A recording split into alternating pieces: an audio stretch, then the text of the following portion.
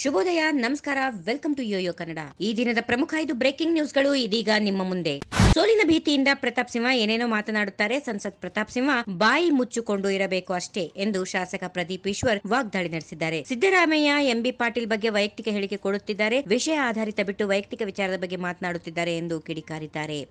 ರಾಜ್ಯಕ್ಕೆ ಹೆಚ್ಚುವರಿ ಅಕ್ಕಿ ನೀಡಲು ಕೇಂದ್ರ ಸರ್ಕಾರ ನಿರಾಕರಿಸಿದ ಹಿನ್ನೆಲೆ ವಿಧಾನ ಪರಿಷತ್ ಸದಸ್ಯ ಎಚ್. ವಿಶ್ವನಾಥ್ ಅವರು ಕಿಡಿಕಾರಿದ್ದಾರೆ. ಬೇರೆ ದೇಶಕ್ಕೆ ಅಕ್ಕಿ ಕೇಳುತ್ತಿಲ್ಲ. ನಮ್ಮ ದೇಶಕ್ಕೆ ಅಕ್ಕಿ ಕೇಳುತ್ತಿದ್ದೇವೆ. ನಮ್ಮ ದೇಶದಲ್ಲಿರುವ ಸರ್ಕಾರಕ್ಕೆ ಅಕ್ಕಿ ಕೊಡಿ ಅಂತ ಕೇಳುತ್ತಿದ್ದೇವೆ. ಅಕ್ಕಿ ವಿಚಾರದಲ್ಲಿ ರಾಜಕಾರಣ ಮಾಡುವ ಅವಶ್ಯಕತೆ ಇಲ್ಲ ಎಂದು ಗುಡುಗಿದರು ಬಿಜೆಪಿಯವರು ಬರೀ ದೇವರು ದೇವರು ಅಂತಿದ್ದರು. ಆ ದೇವರು ತೋರಿಸಲು ಕಾಂಗ್ರೆಸ್ನವರು ಬಸ್ ಬಿಟ್ಟಿದ್ದಾರೆ. ಬಿಜೆಪಿಯವರು ಹೇಳುವ ದೇವರನ್ನ ತೋರಿಸಲು ಬಸ್ ಬಿಟ್ಟಿದ್ದಾರೆ. ನಮ್ಮ ಹೆಣ್ಣು ಮಕ್ಕಳು ಮನೆ ಬಿಟ್ಟು ಎಲ್ಲಿಯೂ ಹೋಗುತ್ತಿರಲಿಲ್ಲ. ಈಗ ಬಸ್ನಲ್ಲಿ ಉಚಿತ ಪ್ರಯಾಣ ಒಳ್ಳೆಯ ನಿರ್ಧಾರವಾಗಿದೆ ಎಂದು ಶ್ಲಾಘಿಸಿದ್ದಾರೆ.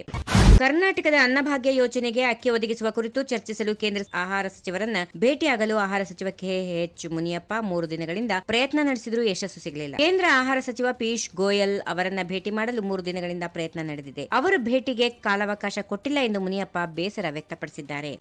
ಶ್ವೇತಭವನದಲ್ಲಿ ಅಮೆರಿಕ ಮಾಧ್ಯಮದೊಂದಿಗೆ ಪ್ರಧಾನಿ ನರೇಂದ್ರ ಮೋದಿ ಅವರು ನಡೆಸಿದ ಸಂವಾದದ ಸಂದರ್ಭದಲ್ಲಿ ಭಾರತದ ಪ್ರಜಾಪ್ರಭುತ್ವ, ಅಲ್ಪಸಂಖ್ಯಾತರ ಹಕ್ಕುಗಳು ಮತ್ತು ವಾಕ್ ಸ್ವಾತಂತ್ರ್ಯದ ಬಗ್ಗೆ ಪ್ರಶ್ನಿಸಲಾಯಿತು. ಅದಕ್ಕೆ ಉತ್ತರಿಸುತ್ತಾ ಅವರು, ಭಾರತದಲ್ಲಿ ಯಾವುದೇ ತಾರತಮ್ಯ ಇಲ್ಲ ಎಂದು ಹೇಳಿದ್ದಾರೆ. ಭಾರತದಲ್ಲಿ ಪ್ರಜಾಪ್ರಭುತ್ವದ ಬಗ್ಗೆ ಸುದೀರ್ಘವಾಗಿ ಮಾತನಾಡುತ್ತಾ ನಾವು ಪ್ರಜಾಪ್ರಭುತ್ವ ರಾಷ್ಟ್ರಗಳು ಮತ್ತು ಪ್ರಜಾಪ್ರಭುತ್ವ ಸಂಸ್ಥೆಗಳನ್ನ ವಿಸ್ತರಣೆ, ಯುಎಸ್ ಮತ್ತು ಭಾರತದ ಡಿಎನ್ಎಗಳಲ್ಲಿ ಇದೆ. ಈ ಕಾರಣಕ್ಕಾಗಿ ಉಭಯ ದೇಶಗಳು ಅಗಾಧವಾದ ಗೌರವವನ್ನು ಹೊಂದಿವೆ ಎಂದು ಹೇಳಿದರು.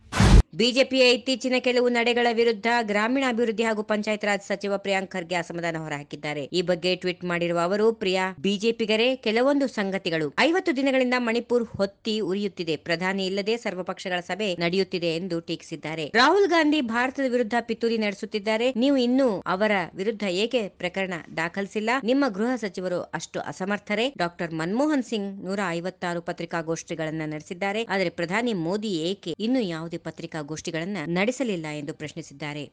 ಈ ವಿಡಿಯೋ ನಿಮಗೆ ಇಷ್ಟವಾದಲ್ಲಿ ಲೈಕ್ ಮಾಡಿ ಶೇರ್ ಮಾಡಿ ಸಬ್ಸ್ಕ್ರೈಬ್ ಮಾಡಿ.